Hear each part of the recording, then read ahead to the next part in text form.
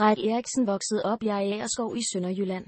Som 10-årig fik han sit eget jordlod, som han kunne dyrke. Som 11-årig faldt han over John Seymours bog Håndbog i selvforsyning. Og han var allerede på dette tidspunkt interesseret i selvforsyning og landbrug. Han var også meget betaget af Søren Ryges programmer.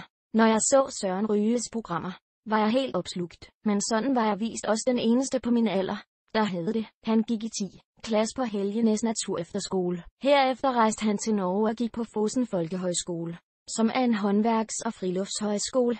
Under sit ophold var han også i Lapland og arbejdede som hørte sammen med de indfødte samer. Efter højskolen tog han til Nordnorge og arbejdede på en gård. Da han kom tilbage til Danmark begyndte han på Aarhus Akademi.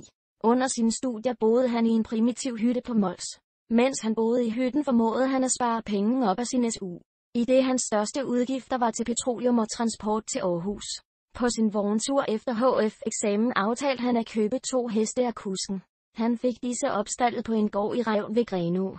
Han boede i en sovepose i laden i vinteren 2004 til 2005. Da ejeren af gården døde kort tid efter, købte Frank gården.